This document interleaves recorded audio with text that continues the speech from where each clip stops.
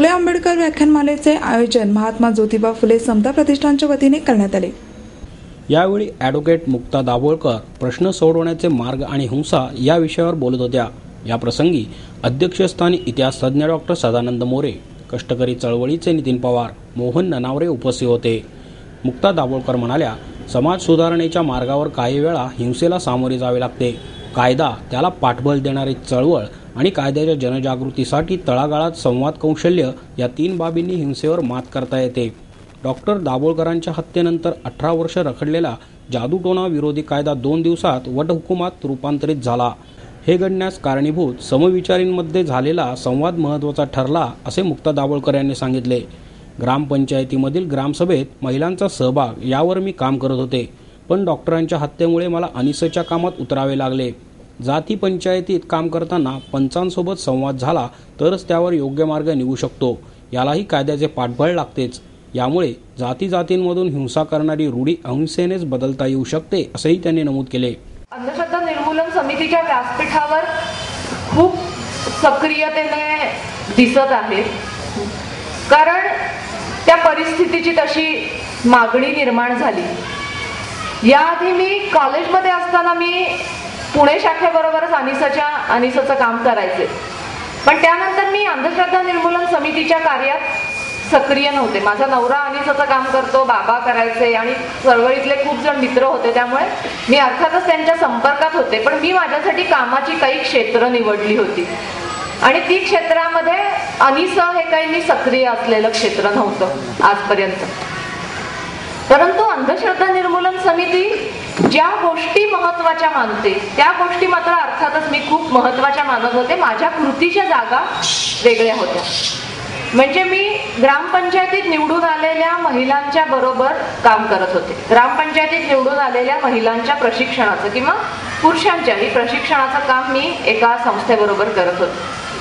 तर हे काम करत असताना जेव्हा बायकांना तुम्ही सांगता की तुम्ही ग्रामसभेसाठी जा आणि ग्रामसभेला हजर राहा.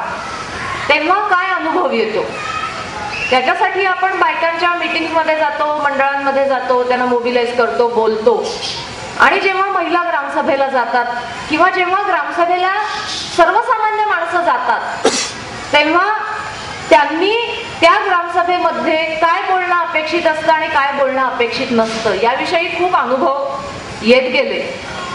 आणि असं लक्षात आलं की जर त्या दारूबंदी सारखा इतका अगदी बायकांचा जीव ज्याने विटलेला आहे असा प्रश्न असेल किंवा पाण्याचा प्रश्न असेल तरच बायकांच्या ग्रामसभेतल्या सहभागाला म्हणावी तशी म्हणावा तसा गावाकडनं तो स्वीकारला जातो किंवा त्याचं स्वागत केलं जातं. या पलीकडे त्या ग्रामसभेत जाऊन आपण करायचं काय? असा बायकांना प्रश्न यासाठी पडतो की रूढ मताच्या विरुद्ध स्वतःच मत व्यक्त करणं हे त्यांना अजिबात स्वीकारार्ह नसतं त्या समाजामध्ये.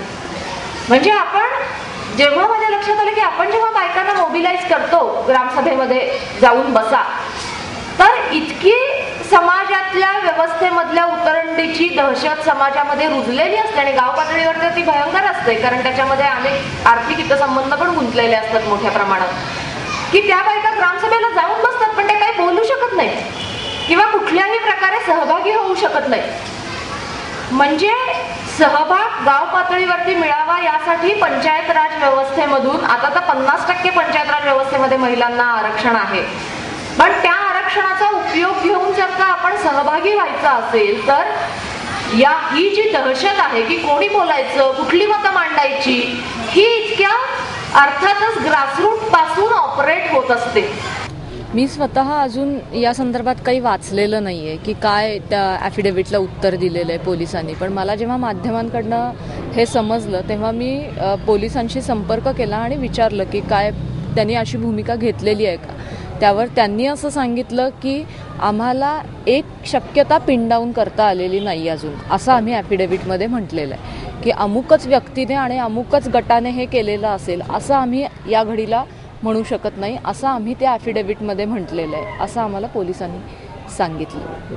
हो यासाठी आपण आत्ता म्हटलं तसं दोन तारखेला फक्त अंधश्रद्धा निर्मूलन समिती नाही तर सर्व पुरोगामी पक्ष संघटना संस्था व्यक्ती या सर्वांनी आझाद मैदानावरती एकत्र येऊन जाहीर सभा आणि त्याआधी राणीबागेपासून या विषयासाठी पाठिंबा गोळा करत चालण्याचा निर्णय घेतलेला आहे. आणि मला असं वाटतं की या संदर्भात इतक्या लोकांच्या तीव्र भावना आहेत हे शासनापर्यंत आपण या माध्यमातून पोचवत आहोत. आणि कायद्याच्या बाबत म्हणायचं तर मुख्यमंत्र्यांनी हे जाहीर केलेलं आहे की मी हा कायदा करणार आहे. त्यामुळे मुख्यमंत्र्यांनी त्यांचा शब्द पाळावा आणि या विधिमंडळ अधिवेशनामध्ये हा कायदा मंजूर करावा. तसंच या सर्व दोन तारखेला रस्त्यावर उतरणाऱ्या आणि विवेकाच्या मार्गाने रस्त्यावर उतरणाऱ्या सामान्य माणसांची मतं आणि त्यांच्या तीव्र भावना त्यांनी समजून घ्याव्यात आणि या प्रकरणाचा तपास जलद गती